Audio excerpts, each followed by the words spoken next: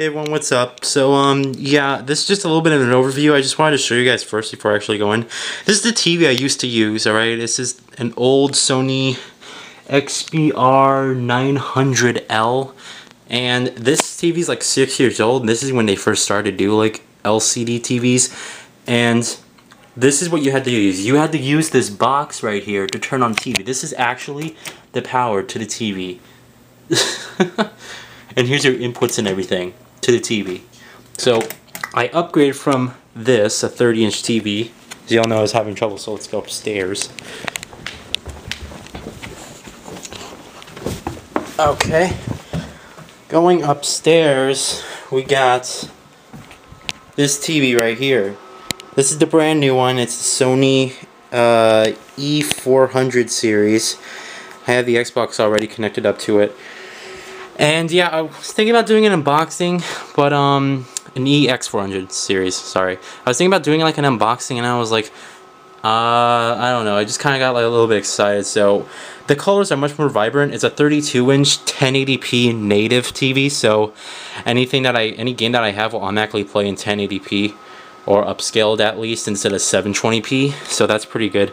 But anyway, I was playing a couple games on it. Here's the games down there. Right now I currently have uh, the driver San Francisco. Oh, I guess my download's really fast, so. Yeah, look at the driver San Francisco demo is already installed, so yeah, I'm gonna about I'm gonna go ahead and play that. Um, maybe I'll do a little bit of playthrough. There's my tripod, so maybe I'll go ahead and uh, you know, go ahead and try to do a playthrough of that. But anyway, yeah, I just want to let you guys know I got a new TV for my Xbox. I'm pretty excited. Um, I was this is an LCD by the way, but I was thinking about you know I wanted to get one that had like 120 hertz. However, the one I saw was already sold out. it was already like you know someone already paid for them, so there are only two left. So I had a choice of this and a couple of other TVs that weren't like, you know, they were like super expensive, but they didn't get as good as the ratings. This got like a 4.5 out of 5. So anyway, yeah, just letting you guys know I got a new TV. It means better playthroughs, I guess. And this is going to be awesome because um, in the upcoming in the upcoming playthroughs, for example, the next uh, Xbox game I'm getting is Gears of War 3. It's going to be awesome. I can just have the tripod here. I'm going to be alone. No one's going to be in the room.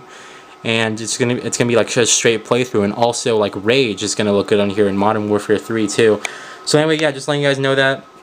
So, uh, yeah, I'm going to go ahead and have some fun. And I'll see you guys for the Driver San Francisco demo uh, playthrough. See ya.